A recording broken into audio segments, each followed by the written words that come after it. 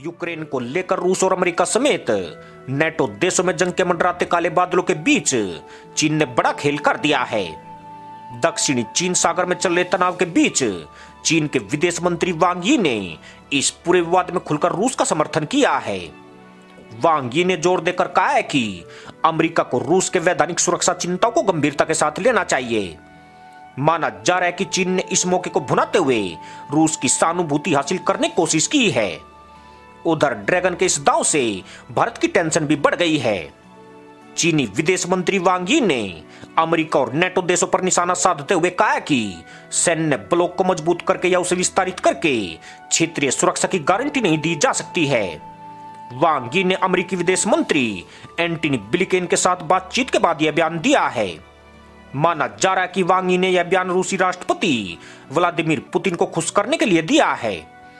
इससे पहले पुतिन ने कहा था कि यूक्रेन को नाटो का समर्थन रूस की सुरक्षा के लिए खतरा है। रूस के यूक्रेन सीमा पर एक लाख सैनिकों को जमा करने के बाद अब तक चीन ने चुप्पी साध रखी थी। और वह इतना ही कह रहा था कि दोनों पक्ष बातचीत के ज़रिए विवाद का समाधान करे। चीनी विदेश मंत्री के इस बयान के बाद अब यह साफ़ हो गया है कि अमेरिका और चीन के शीर्ष नेतृत्व के बीच वर्चुअल मुलाकात के बाद भी दोनों देशों के बीच तनाव कम नहीं हुआ है। उधर चीनी विदेश मंत्रालय के प्रवक्ता ने तो तंज कसते हुए नेटो को शीत युद्ध का अवशेष ही बता दिया और कहा कि उसे कोल्ड वार की मानसिकता को छोड़ देना चाहिए। इस बीच रूस ने कहा है कि यूक्रेन संकट को हल करने के लिए रूस की मुख्य मांगों पर अमेरिका के इनकार से आशावाद के लिए बहुत कम गुंजाइश बचती है। साथ ही कहा है कि बातचीत अभी भी मुमकिन है। रूस ने यूक्रेन की सीमा के पास एक लाख से अधिक सैनिकों का जमावड़ा कर रखा है। जिससे इस क्षेत्र में युद्ध की आशंका तेज हो गई है। रूस ने लगातार इस बात से इनकार किया है कि वह हमले की योजना बना रहा है। लेकिन अमेरिका और उसके नेटो सहयोगियों का मानना है कि रूस युद्ध की तरफ़ बढ़ रहा है और इसके लिए वह तैयारी कर रहा है। रूस ने कई मांगे रखी हैं, जिसके बारे में उसका कहना है, इससे यूरोप में सुरक्षा की स्थिति में सुधार होगा।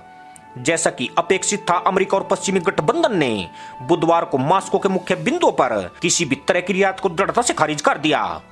अमेरिका ने यूक्रेन को नेटो में शामिल होने से स्थायी रूप से प्रतिबंधित करने से इंकार कर दिया और कहा कि पूर्वी यूरोप में सैनिकों और सैन्य उपकरणों की संबद्ध तैनाती के मुद्दे पर कोई वार्ता नहीं होगी।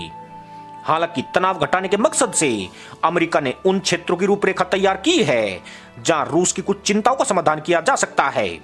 माना जा रहा है कि रूस और चीन की बढ़ती नजदीकी भारत के लिए चिंता का सबब बन सकती है। भारत का चीन के साथ सीमा विवाद चल रहा है और दोनों ओर से मिलकर करीब एक लाख सैनिक सीमा पर तैनात है। वहीं भारत चीन से निपटने के लिए बड़े पैमाने पर रूस से हथियार खरीद रहा है।